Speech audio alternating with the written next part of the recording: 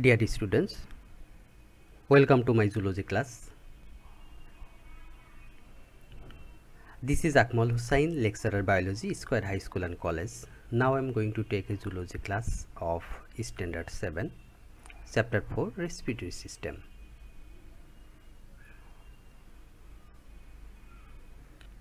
Today's topic is respiration. There is a picture of human respiratory system.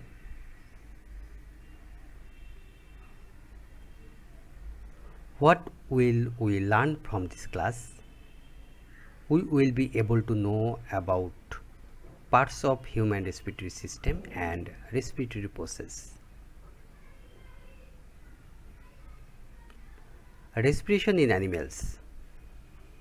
Here it has been mentioned in an animal's respiration but actually described only human respiration.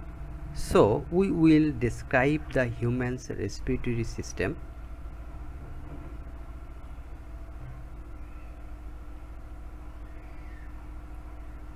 You know human respiratory system formed by mainly seven parts. Number one nostril and nasal cavity. Nasopharynx. Larynx. Trachea. Bronchus lungs and diaphragm. There is a picture of human respiratory system especially lower respiratory system.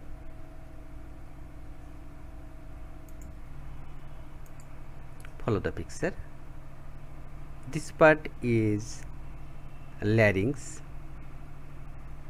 then tube like structure. It is trachea the branch of trachea who is entered into both lungs named bronchus. Again bronchus divided into many branches. These branches of bronchus is called bronchioles and the end of the bronchioles it carries alveolus alveolus. The cover of lung is called pleura. The cavity between two membrane of pleura is called pleural cavity. And the muscular sheet like organ which just beneath of lungs is called diaphragm. Here mentioned ribs and heart. No need to draw it for your kind information. No need to draw the ribs and heart because heart and ribs is not the part of our respiratory system.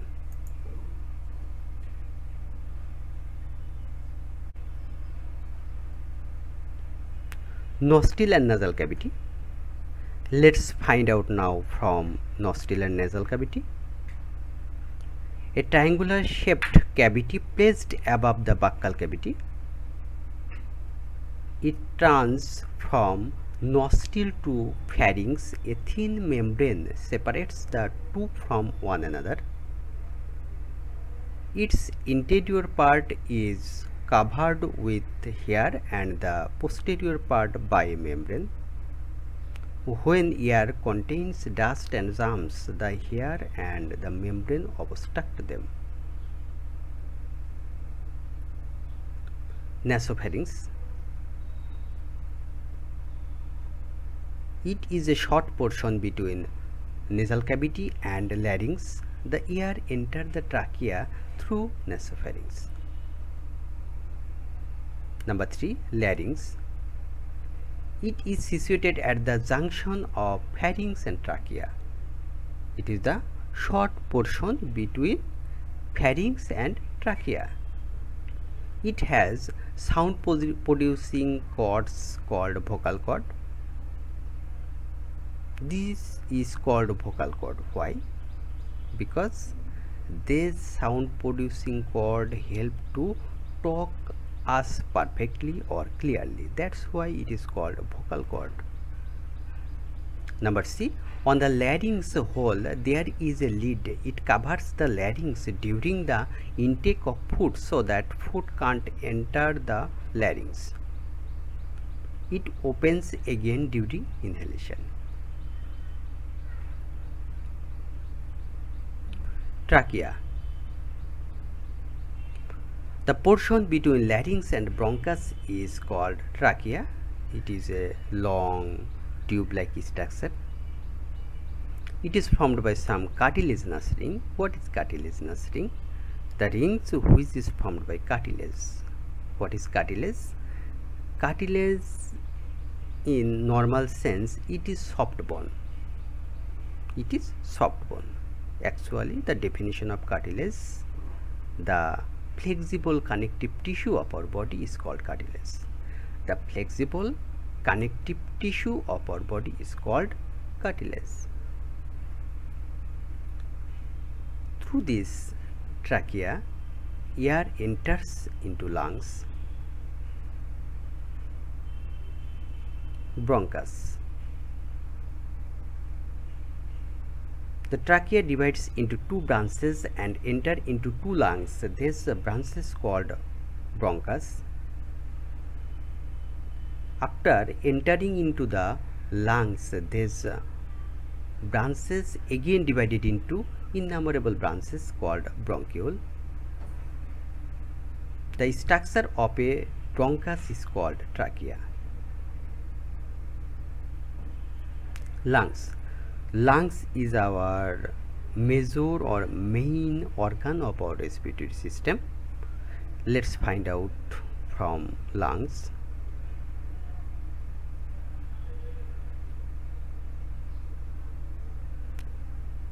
There are two lungs on two sides of the heart inside the chest cavity.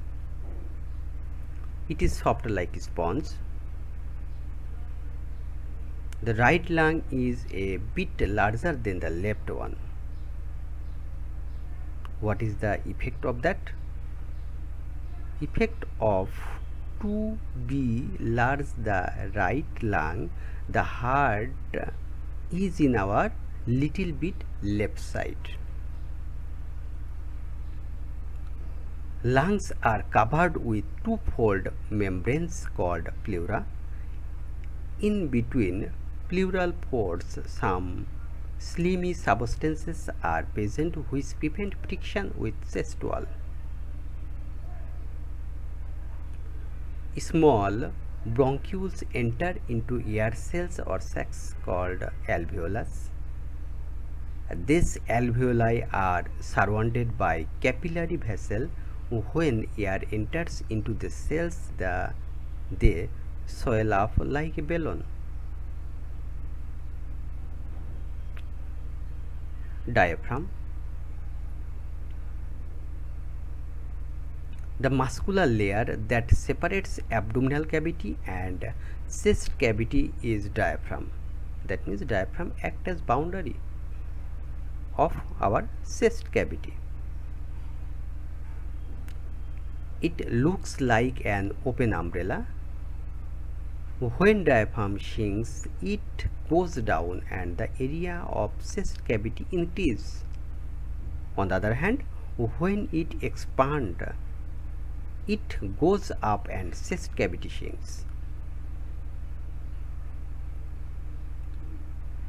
Now, respiratory process or respiratory method. Respiratory process of human we may divide it into mainly two. Number one external respiration. Number two internal respiration. External respiration again divided into two. Inhalation and exhalation. Internal respiration.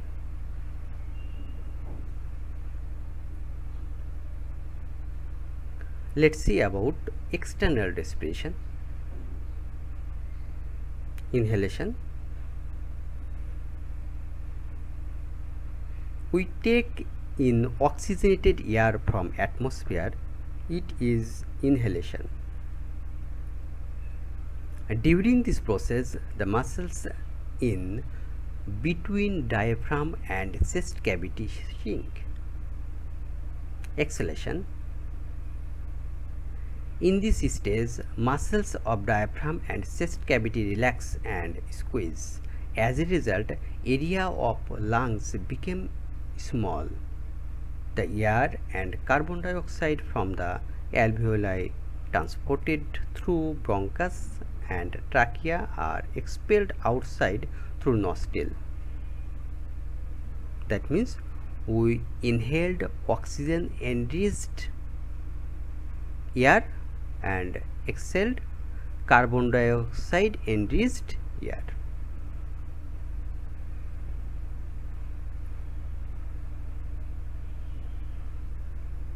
Internal respiration Your book has described very nicely here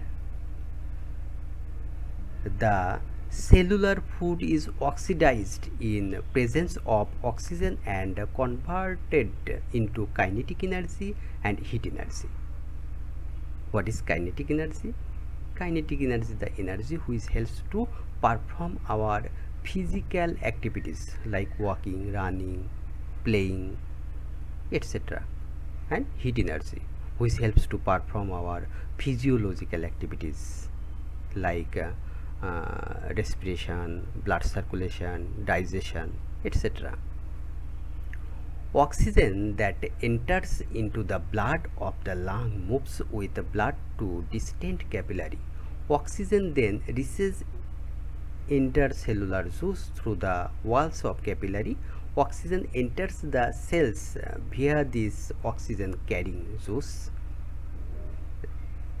Then it reacts chemically with cellular food and produce energy as a consequence as a consequence heat energy and carbon dioxide are produced.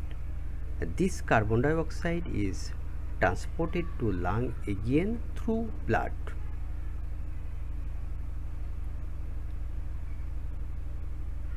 Flow chart of respiratory system is given below. Actually here mentioned the flow chart of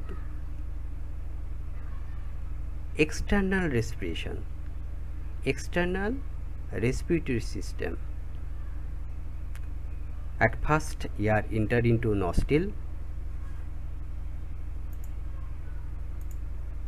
Nostril to nasal passage nasal passage to nasopharynx nasopharynx to trachea, trachea to bronchus, bronchus to bronchiole, then bronchiole to alveoli or air sac which is called in singular form alveolus.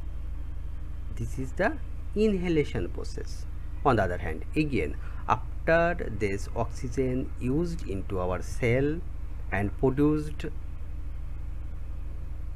energy and carbon dioxide this carbon dioxide is harmful for our body. That's why this is wastage.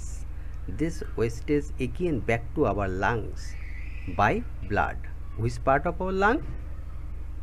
Alveoli. Then alveoli to entered into bronchiole. Bronchiole to bronchus. Bronchus to trachea. Trachea to nasopharynx. Nasopharynx to nasal passages nasal passages to nostril. And nostril to again environment. That means this is exhalation way to nostril to alveoli is inhalation. Way to alveoli to nostril is exhalation stay at home. Stay safe. Thank you